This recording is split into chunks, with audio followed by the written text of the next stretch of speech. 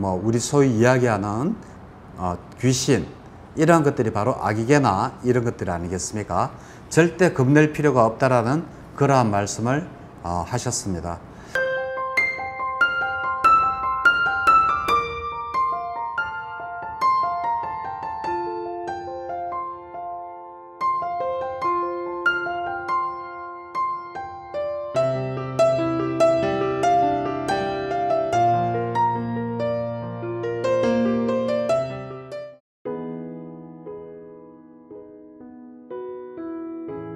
안녕하십니까? 마음치유행복도량 대구 구룡사주지 도일입니다. 오늘은 31천 존재계에 대해서 말씀을 드리도록 하겠습니다. 우리가 31천이라 그래서 어, 범종을 칠 때 우리가 아침에 31번 저녁에 28번을 치죠.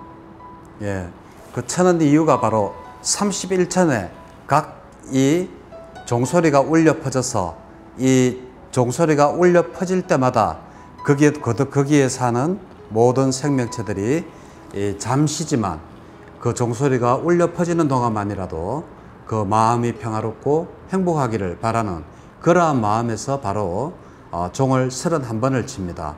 그래서 이 오늘은 이 31천에 대해서 말씀을 드리도록 하겠습니다. 우리가 살면서 한 생에서 한 생으로 옮겨 다니면서 살아가는 우리는 윤회하는 존재입니다. 그리고 이 존재가 그 존재하는 곳이 바로 31천, 31천 공간계가 되겠습니다. 이 말씀은 제가 하는 말이 아니라 바로 부처님께서 모든 존재가 존재하는 것은 바로 31천 공간계라고 부처님께서 말씀을 하셨습니다.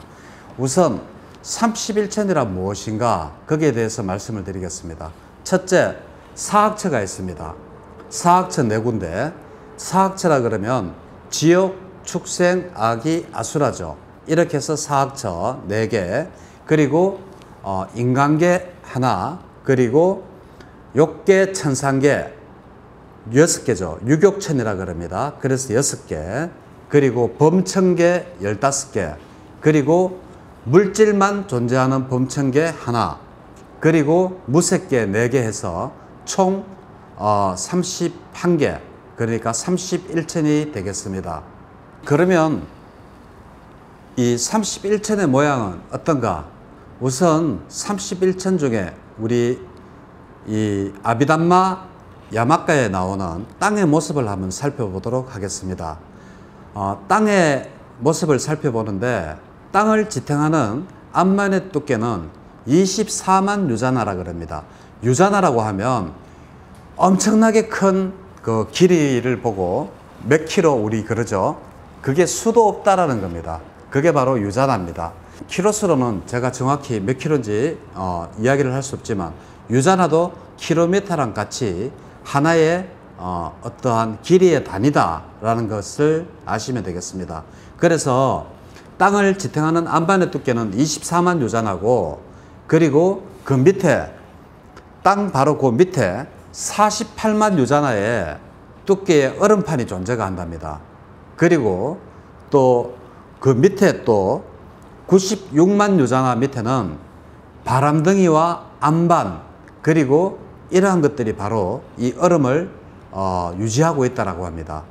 여기서 바람둥이라고 이야기하는 것은 아마 우리가 어, 이야기하는 코어 그러니까 지구 중심의 가장 어, 핵심되는 그러한 부분의 아마 이러한 바람덩이로 표현을 하지 않았나 그렇게 생각을 해봅니다.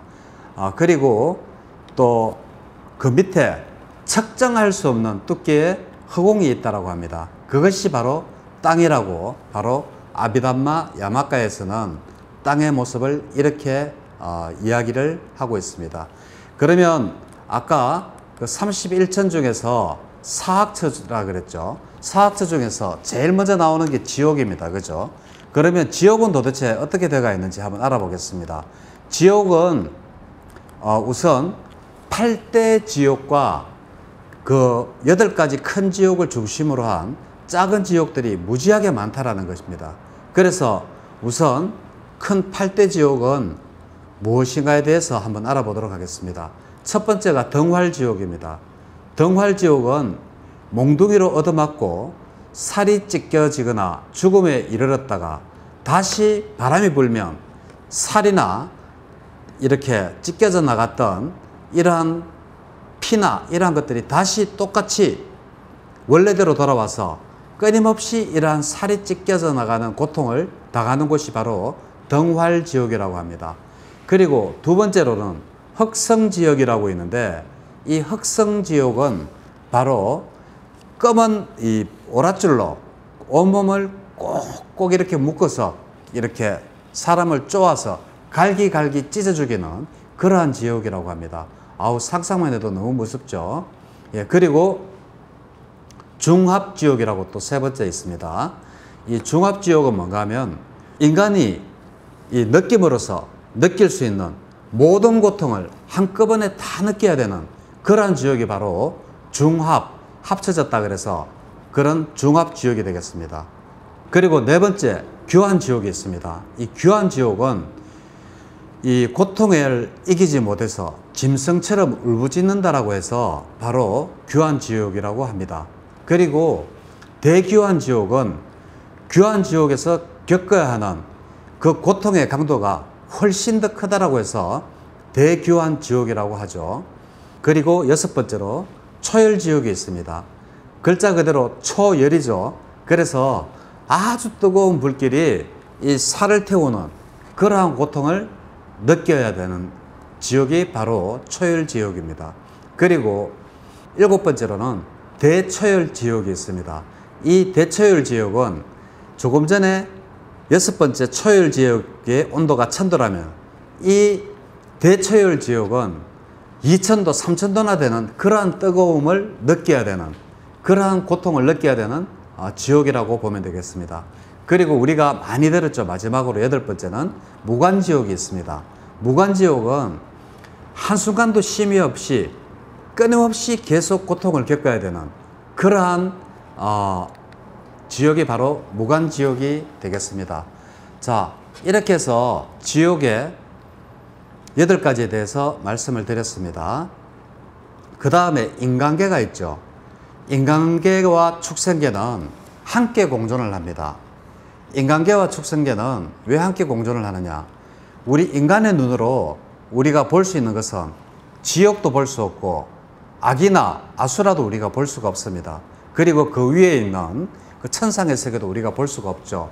단지 우리가 볼 수 있는 것은 바로 인간계와 축생계 두 개밖에 우리가 볼 수가 없기 때문에 인간계와 축생계는 함께 공존을 하고 있다라고 그렇게 이야기를 합니다.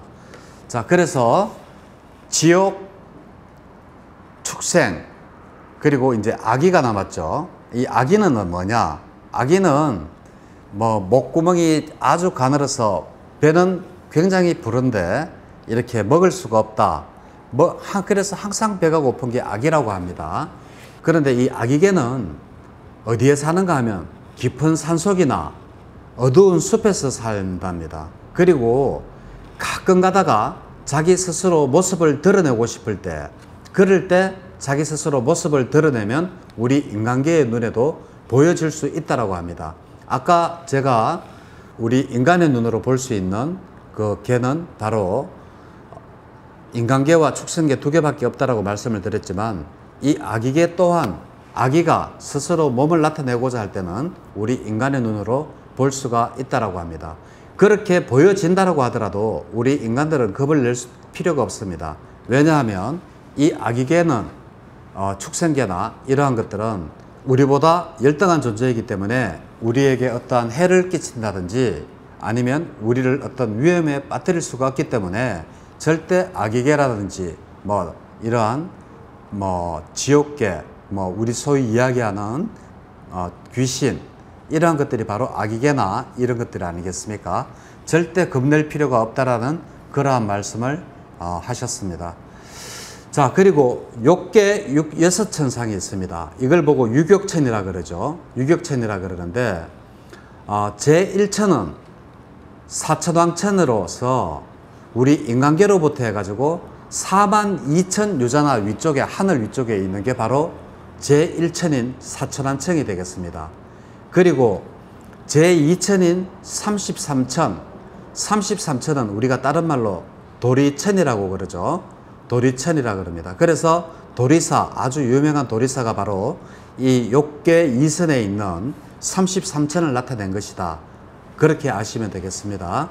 그래서 이, 삼, 이 도리천은 바로 이 제1천인 사천왕으로부터 해서 또 4만 2천 유자나 그 높은데 이 도리천이 있고 또 제3천인 야마천은 또 이 도리천 위에서 또 4만 2천 유자나 높이 위에 또 야마천이 있다고 합니다.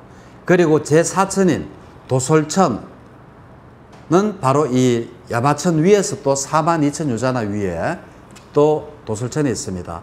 이 도솔천은 도솔사라든지 아, 그리고 도솔천은 안과 밖으로 이렇게 둥글게 두 개로 이렇게 나누어져 가 있는데 안에를 보고 내원궁이라 그러고 바깥에를 보고 내, 외원궁이라고 그럽니다. 그래서 우리가 내원암이라든지 아니면 도솔차 이런 이야기를 들을 때는 아 여섯 개 유격천 중에서 제 4천인 도솔천을 보고 이야기를 하는구나. 그게 바로 아 내원암이구나. 뭐 이렇게 아시면 어, 되겠습니다. 그리고 이 도수천 위에 또 4만 2천 유자나 높이 위에 화락천이라고 있답니다. 이 화락천이 있고 또 거기서 또 4만 2천 유자나 위에 바로 타와자재천이 있습니다. 이렇게 해서 욕계 6개 천상이 쭉 이렇게 나열이 되어져 있다고 합니다. 자, 지금까지 설명을 해보면 우리 땅이 이렇게 해서 형성이 되어져 있고 그 위에 6개의 천상이 있는데 제1천부터 해서 제6천까지 전부 다 4만 2천 유자나를 중심으로 해서 제1천은 사천왕, 제2천은 도리천, 제3천은 야마천, 제4천은 도설천, 제5천은 화락천, 제6천은 타와차제천 이렇게 해서 쭉 이어져 있다라고 생각하시면 되겠습니다. 이러한 형태가 바로 우리 불교가 갖는 어, 우주관이기도 합니다. 또 그 위에 바로 욕계 그 타와 차지천 위에 욕계 육천 바로 그 위에 되는 그 부분 위에 또 다른 천상들이 쭉 또 나열이 되어 가지고 있습니다. 그게 바로 범천계 15천입니다. 범천 15천인데 어, 초선 범천은 범중천, 범보천, 대범천에서 3개 그리고 이선 범천은 소광천, 모량광천, 광음천에서 3개 3범천은 소정천, 무량정천, 변정천 해서 하나. 그리고 제4선 어, 이 범천은 바로 광과천, 무상유정천, 정거천. 그리고 나서 이제 마지막으로 이것은 전부 다 다 뭐야? 그 타와 자재천으로부터 해가지고 각각 550만 8천 유자나 위에 존재한답니다. 그러니까 이 인간계로부터 해서 이렇게 땅으로부터 보면 4만 2천 유자나씩 해서 이 육격천이 존재를 한다면 이 범천계 15개는 각각 그 위에서 다시 550만 8천 유자나 위에 존재를 한답니다. 그래서 어 이렇게 해서 어총 12개 가 되고 그리고 무색계 사선천 해가지고 공무변처, 식무변처, 무소유처, 비상비비상처 4개 이렇게 해서 총 15개가 되겠습니다. 그러면 범중천, 초선범천 3개, 이선범천 3개, 삼선범천 3개, 사선범천 3개, 그리고 무색계 4천 이렇게 하면 그 총 16개가 되는데 왜 뭐야 그 15개라고 하느냐라고 한다면 아까 제가 말씀을 드렸지 않습니까? 무상 유정처는 물질만이 존재하는 세계라고 따로 빼서 하나가 됩니다. 그래서 무상 유정처는 따로 빼가지고 따로 물질만 존재하는 세계로 보기 때문에 비록 16개지만 어, 무상 유정처는 따로 하나 빼기 때문에 15개가 되고 무상 유정처는 물질만 존재하는 세계 한 가지가 되겠습니다. 그리고 이 물질만 존재하는 세계, 그 무상 유전천과 그리고 정신만 존재하는 세계, 무색계죠. 무색계 사천을 빼고는 전부 다가 어, 물질과 정신이 공존하는 그러한 형태로 유지가 된다고 합니다. 그리고 어, 또 이 천상의 천신들이 사는 음식은 우선 유격천에 사는 이 천신들은 음식을 먹는답니다. 음식을 먹는데 아주 작은 음식을 먹기 때문에 대변이나 소변을 보지 않고 완전히 그것을 100% 에너지로 바꿨기 때문에 대변 소변을 보지 않아도 되고 그리고 이 천상의 천인들은 아주까지 몸이 어, 남자와 여자로 나누어져 있기 때문에 이성에 대해서 서로 사랑을 나눈다는 게 바로 유격천에 있는 천상 여섯 가지 천상에 대한 어, 이야기가 되겠습니다. 그러니까 천상의 천신 천신들도 성행위를 하면서 살아간다는 이야기입니다. 그리고 몸도 남자와 여자로 나누어져 있다는 이야기입니다. 그리고 어, 음식도 먹되 단 100% 에너지를 활용하기 때문에 대소변을 보지 않는 정도다. 이제 그렇게 하시면 되겠습니다. 그게 바로 그, 그 천신들이 사는 세계가 바로 그렇습니다. 그리고 범천 15개, 범천들은 그러면 어떻게 무엇을 먹고 사느냐? 범천은 바로 기쁨과 희열, 그리고 환희를 음식으로 먹고 산답니다. 그리고 이 범천의 어, 15천은 이미 남자와 여자의 어, 구분이 없기 때문에 이제 성행이라든지 이러한 것들을 행위를 할 수가 없죠. 그래서 어, 음식은 희열로 먹고 환희와 기쁨으로서 음식으로 삼고 그리고 남녀 성별이 없이 그러한 어, 외모를 가집니다. 그리고 어, 범천계를 떠나면 이제 더 이상의 이제 정신계가 있죠. 정신만이 있는 그러한 게도 어, 몸이 없습니다.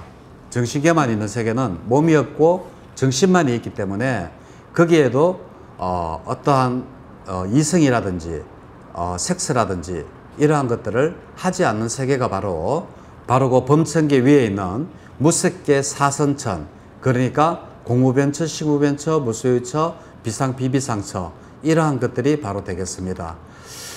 자 그러면 이러한 어, 부처님께서 이렇게 그 야마가라는 그, 그 경에서 31개의 하늘을 이렇게 쭉 나눠서 이야기했음에도 불구하고 그리고 우리의 모든 전제는 이러한 31개의 천상을 이렇게 끊임없이 돌아다니면서 윤회한다라고 이야기를 했음에도 불구하고 이 천상이나 범천, 이 윤회를 믿지 않는 사람들이 우리 불교를 믿고 있는 시장님들 중에서도 굉장히 많습니다. 자, 그러면 여기에서 우리가 생각을 한번 해보, 겠습니다 자, 어, 우리 불교의 핵심 사상이 바로 윤회이고, 그리고 어, 이 우주론도, 우리 불교의 우주론도 부처님께서 야마카라는 어, 그 경전을 통해서 31층으로 나눠져 있고 우리는 끊임없이 이렇게 윤회를 한다라고 했음에도 불구하고 그것을 믿지 않는 사람들을 위해서 제가 조금 어, 한 말씀을 드리겠습니다.